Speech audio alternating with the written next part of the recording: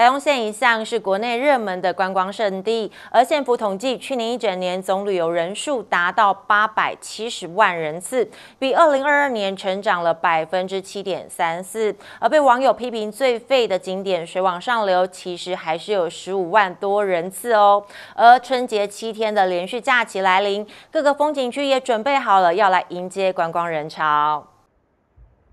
春节七天连续假期来临，各个风景区正准备迎接观光人潮。今天受地震影响封闭的东海岸三仙台八拱桥，也已在二月五号春节前有条件开放。做有条件的开放，那也是经过台湾省呃结构技师工会的建议，那也同时考量游客会有落桥的一个危险，所以我们会是以呃十级风力来作为开放的一个标准。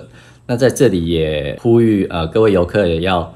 呃，登桥的时候要注意自身的安全。那我们也会根据呃气象组的风力的预报，还有现场的风力的状况，我们会做预警性的封闭或呃计算它最初的一个结构强度。那我们都发现现场没有车位变形或者是一个倾斜、倾斜位移的一个状况。对，所以我们在呃工会的建议之下。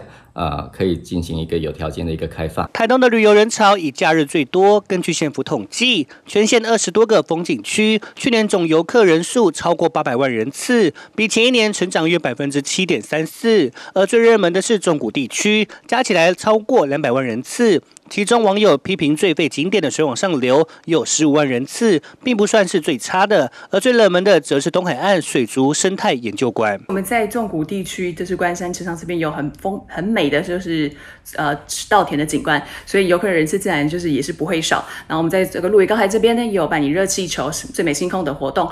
那茶我们在资本地区呢，也有办资本光季，还有温泉季，这个会带来许多的游客人次。而且我们在南回这边也有办理艺术季，也会有许多名。众来这边拍照打卡，所以这是为什么我们的游客人次比前一个年度来的更多的原因。由于屏东垦丁去年受到风灾影响，还没有全面复原，可能有更多游客会转向东部。预计今年台东春节的旅游人潮会因此再增加。而目前台东饭店业者统计，七天春节假期初二和初三几乎订房客满。接盘最综合报道。